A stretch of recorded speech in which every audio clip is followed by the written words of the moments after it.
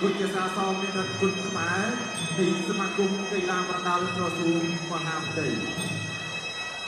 លោកលោកស្រីនិងនាងកញ្ញាក៏សូមស្វាគមន៍ដល់កីឡាករបង្គោលក្រហមនៃព្រះរាជាណាចក្រកម្ពុជាទីវ៉ារូ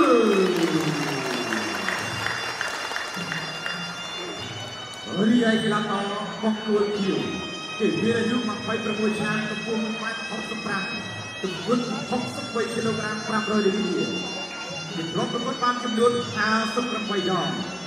អ្នក49ចាញ់7ស្មើ2រួលគុំប្រកួតដោយបច្ចេកទេសរបស់គេចំនួន14ដងលូលូស្រីនៃទីការក៏សូមស្វាគមន៍ដល់កីឡាករបង្គោលខៀវមកពីប្រទេសឡាវ